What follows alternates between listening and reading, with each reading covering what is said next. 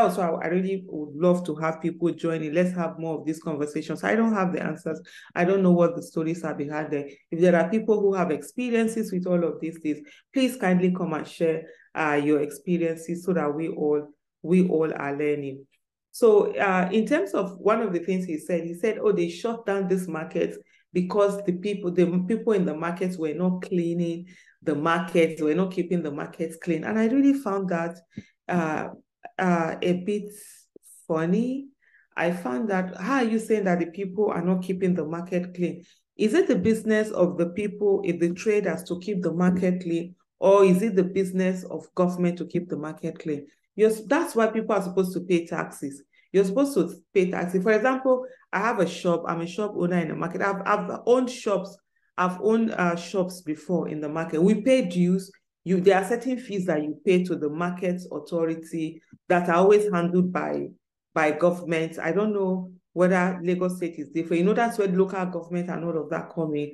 And when you pay this thing, you don't expect me because I'm a shop owner that I'm going to start going to where people have put their debts. I'm going to be the one to ensure they are being clean. No, I pay tax, I pay dues, I paid some levy. Those are the monies that are supposed to be used by government to make those things neat. The only thing that as a trader, you will either find me for, or is if if probably I go and carry debt, I throw it in certain places they are not supposed to be thrown at. Yes, then you find the person, or in front of my shop. I don't I don't sweep my shop which I definitely have to do.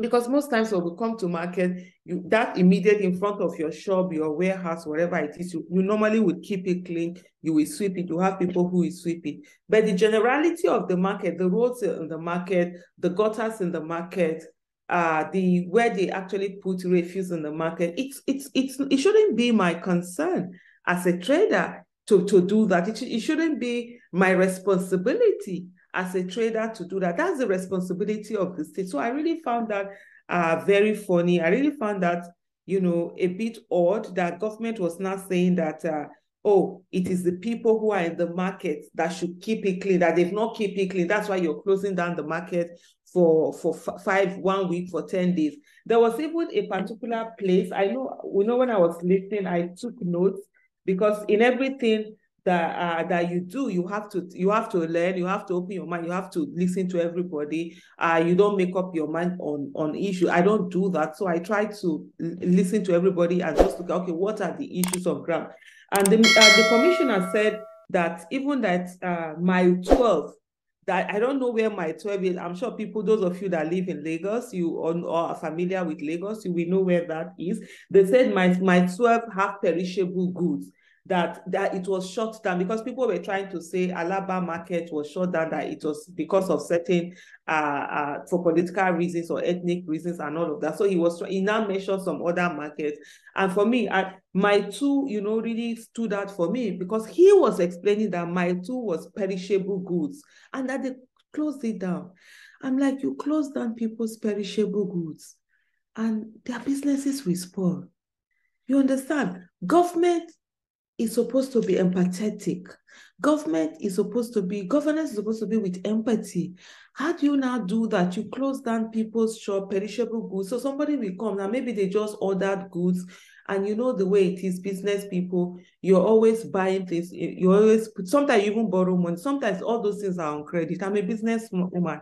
Most of our business, we do it on credit. For me personally, I make sure that my money is not in my business. Why should I be using my money for business? I use other people's money, OPM. Either I'm buying it on credit or I'm taking a bank guarantee from banks and stuff like stuff like that. I'm using it to buy my own money. I pull it out. I put it in real estate. So you know, and then it's it's a profit. As a profit gather, I take the money out. I put it, put it in real estate. Business they say makes you rich real estate makes you well. Well, this is me digressing a little bit, but I love financial literacy. I think maybe one of these days I'm gonna I'm gonna do uh, that a bit in this live with Aisha. I do financial literacy. I teach financial literacy, which is you know how do you how do you make your money work for you? How do you get financial how do you get financial independence?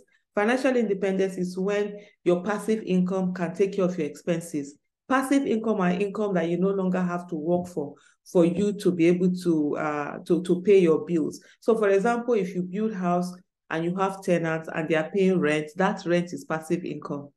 If, for example, you buy dividends and you're getting, uh, you buy shares, I mean, and you're getting dividends from those shares, that's passive income. So that kind of money where you don't have to work, you've already invested and this money are bringing in return, that's passive income. And, you know, active income on the other hand is money that you have to work for. For example, when you when you when you're working and they're paying you salary that's active income when you're doing business and you are earning profit that's also active income although a lot of people mistake a profit in businesses for like passive income. No it's not passive income. The moment you are working you that you are working and the person who is doing business and getting money you are all on the same thing. You're doing active income. If that business goes down or you are or you are sacked from your uh, employment you will no longer have that active income right? But if, for example, you have you have a business, you're running a business, or you're working, you're getting salary, you're able to save, you use that money to buy land, and then that land you you build on it, uh, you build you build on it. The land on its own over time, if it, it can appreciate, which is capital gain, you you sell it, you can sell it for a lot of money, or you build on it, you have it, you put in your tenant, and then the money you're getting, that's cash flow, that's passive income. So that's what when you have enough of that, that can take care of expenses, then you have you are financially independent. So financially independent doesn't necessarily mean how much you have in your account. You might have you might not even have much money in your account, but you're financially independent because you have a source of income that is coming in that you don't have to work on that take care of expenses.